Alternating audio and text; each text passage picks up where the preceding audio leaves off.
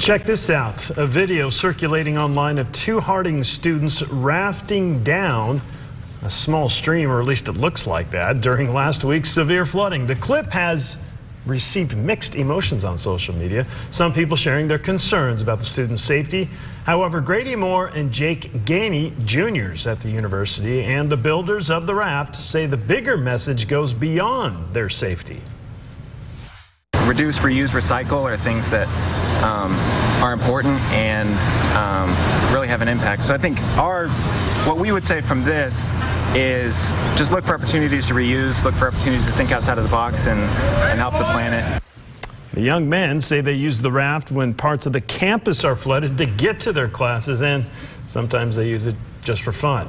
You can find more on this story in a digital original on our website, fox16.com. Recycling, huh? There you go.